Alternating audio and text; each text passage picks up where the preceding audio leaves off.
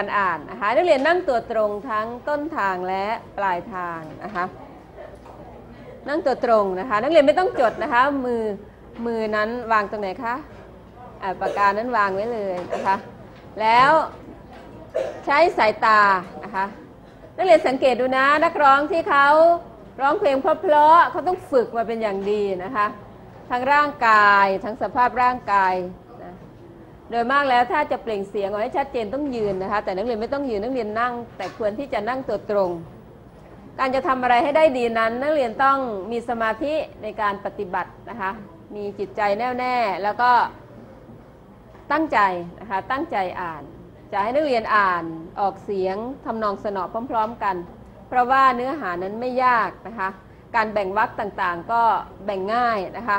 โดยปกติแล้วบทร้อยกลองนะที่ครูพิมพ์ให้นักเรียนนั้นนะวรรคที่หนึ่งกับวรรคที่สองจริงแล้วเนี่ยจะต้องอยู่ในบรรทัดเดียวกันใช่ไหมคะ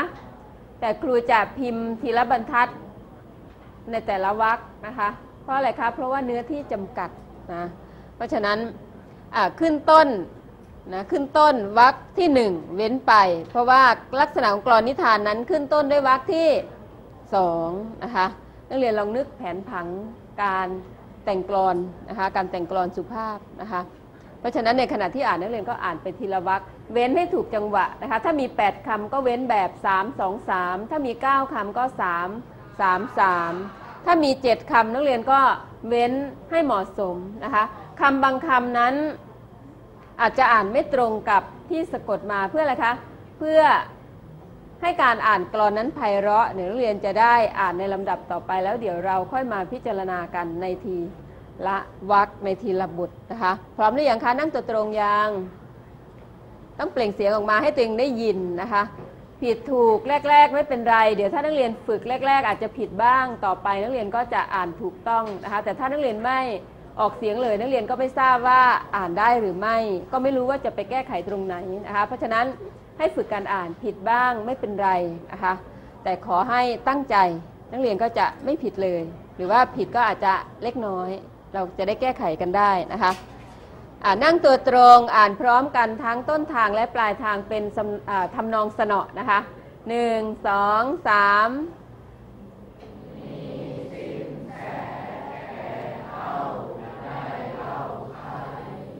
ดังขึ้นอีกหน่อยหนึง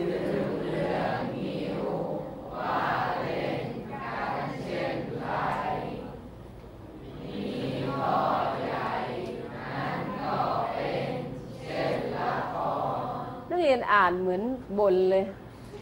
มีสินแสแก่เท่าได้เล่าใครอ่านดังๆ สินแสแก่เท่าได้เล่าใคร ถึงเรื่องงิ้วว่าเล่นกันเช่นไร มีข้อใหญ่นั้นก็เป็นเช่นละคร เอาใหม่อีกทีสิทั้งต้นทางปลายทางหนึ่งสองสาม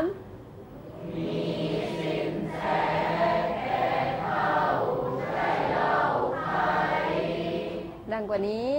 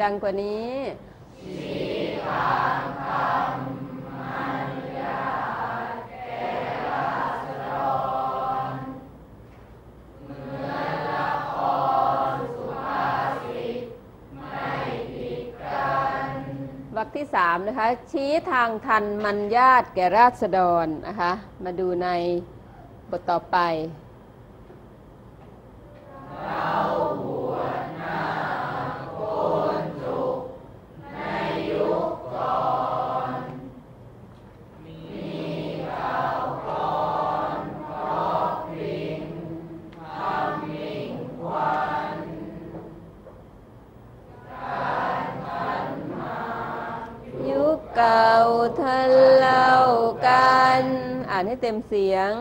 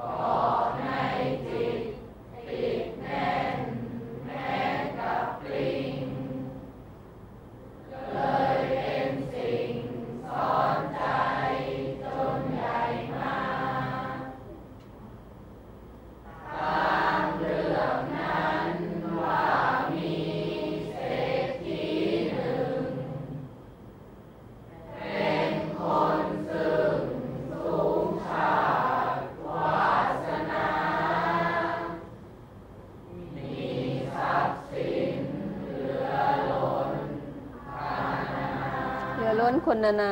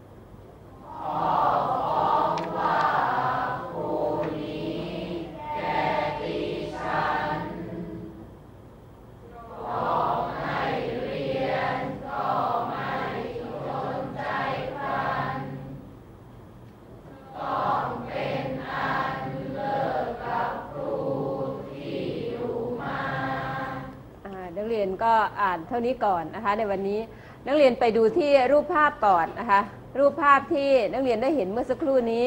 ตอนนี้นักเรียนก็คงจะตอบคำถามได้นะคะว่า ที่ปรากฏในรูปภาพนั้นคือใครนะคะ คือใครคะ น่าจะเป็นใครคะ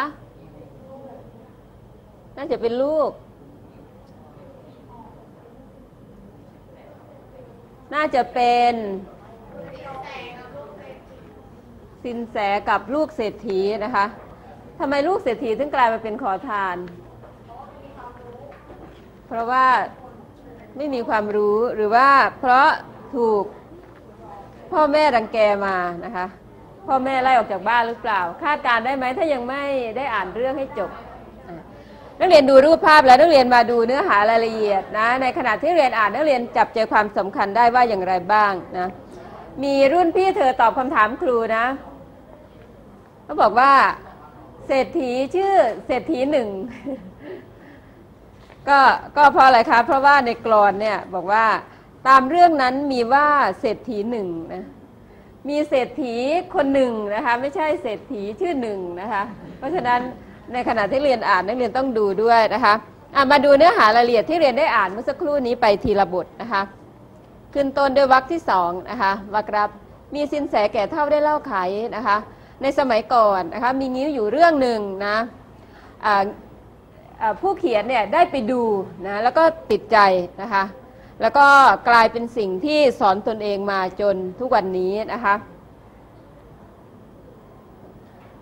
แต่ข้อหนึ่งแกเล่าเขาประสงค์ มุ่งทำนงในข้างเป็นทางสอน ชี้ทางทันมันญาติแก่ราษฎร เหมือนละครสุภาษิตไม่ผิดกันนะคะ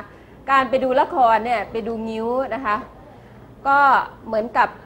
ที่จะสั่งสอนนะในขณะที่นักเรียนฟังนิทานก็เหมือนกันนะในขณะที่ฟังนิทานเนี่ยนอกจากได้ความบันเทิงแล้ว นักเรียนยังได้คติสอนใจ เพราะว่านิทานนั้นแบ่งออกเป็นสองฝ่ายฝ่าย ดีและฝ่ายชั่วนะคะ ฝ่ายดีนั้นนักเรียนจะเห็นได้ว่าเมื่อปฏิบัติดีผลสุดท้ายก็เป็นไงคะะจบอย่างมีความสุขถ้าฝ่ายร้ายนะคะฝ่ายชั่วฝ่ายไม่ดี ผลสุดท้ายก็ต้องตายไปอย่างทรมานนะเมื่อเห็นแล้วว่าทำดีนั้นได้ดีดีอย่างไร นักเรียนก็ปฏิบัติตาม เมื่อรู้ผลเสียว่าสิ่งที่ไม่ดีนั้นไม่ดีอย่างไร นักเรียนก็ไม่ต้องไปปฏิบัตินั่นก็คือสิ่งที่ได้ โดยที่ไม่รู้ตัวจากการฟังนิทานนะคะละครเรื่องนี้ก็เหมือนกันนะคะงิ้วเรื่องนี้ก็เหมือนกันผู้เขียนได้ไปดูแล้วก็ติดใจนะคะเพราะว่าแทรกคำสอนไว้นะคะชี้ทางทันมันญาตแก่ราษฎร เหมือนละครสุภาษิตไม่ผิดกันนะคะก็สอนไปในตัวในขณะที่เราฟังนิทานเรื่องนี้นะคะในสมัยก่อนนะคะ ก็จะมีการบวชโกนจุกนะแล้วก็มีการว่ากรอน เพราะพลิ้งนะมีการเรียกขวัญใช่ไหมคะหรือว่าการขันหมากในยุคเก่าเนี่ยก็จะมีการสวดฉันสวดมาลัยนะคะนั่นก็คือหวังที่จะสั่งสอนอย่างเช่น การบวชนาคเนี่ยก่อนที่จะบวชเป็นพระภิกษุเนี่ยก็ต้องบวชเป็นสามเณรก่อนใช่ไหมคะก่อนที่จะบวชเนี่ยต้องบรรพชา เป็นสามเณรก่อนที่จะอุปสมบทเป็นพระนะคะ ก็จะมีการเรียกขวัญนนะคะ เพื่ออะไรคะวัตถุประสงค์คืออะไร เพื่อที่จะสั่งสอนนะคะให้รู้ว่าต่อไปนั้นเราต้องปฏิบัติตนอย่างไรนะคะให้สมกับที่มีงานการมงคลนั้นๆนะ ในหมู่บ้านย่านกลางเมื่อปางก่อน มีโรงสอนทำทานการกุศล เป็นเครื่องเรืองปัญญาประชาชนในตำบลอัตคัดไกลวัดวานในแต่ละหมู่บ้านก็จะมีศาลานะคะมีโรงธรรมประจำบ้านนะคะก็จะมีการกุศลบ้างนะคะฝ่ายจีนเขาไม่ได้มีอย่างที่ว่านะก็จะมีการเล่นละครเล่นงิ้วนะเคยดูงิ้วไหมคะมีเรื่องหนึ่งที่ผู้ดูดูแล้วนั้นนะ ปรับปลื้มใจนะแล้วก็เห็นว่างิ้วเรื่องนี้นั้นได้สอนใจตนมาจนปัจจุบันนะคะเกาะในจิตติดแน่นแม้นกับปลิง เป็นการกล่าวเปรียบเทียบนะคะตามเรื่องนั้นมีว่าเศรษฐีหนึ่งนะคะเศรษฐีคนหนึ่งนะครอบครัวของเศรษฐีเนี่ยนะคะแต่ไม่ได้ว่าชื่อเศรษฐีหนึ่งนะคะไม่ใช่ชื่อบุคคลนะคะมีบุตรกี่คนคะ บุตรคนเดียวแสนจะห่วงดังดวงใจ เหมือนกับนักเรียนนั่นแหละ พ่อแม่รักไหมมาโรงเรียนเนี่ยคุณพ่อคุณแม่ทำงานอยู่นะ ถ้ามีเวลาว่างก็จะคาดหวังว่าป่านนี้ลูกเราก็คงจะตั้งหน้าตั้งตาเรียนอยู่ในโรงเรียนนะคะ จะรู้ไหมว่าลูกไปเข้าห้องน้ำนานนานกว่าจะขึ้นมาเรียนนะหรือว่าลูกไปวิ่งเล่นอยู่ตรงไหนนะคะ ก็คาดหวังว่าลูกต้องเรียนนั่งเรียนหนังสือ แล้วก็กลับมาบ้านต้องมีความรู้นะคะ เดี๋ยวในชั่วโมงต่อไปเราจะฝึกการอ่านทำนองสนอเพื่อจับใจความสำคัญ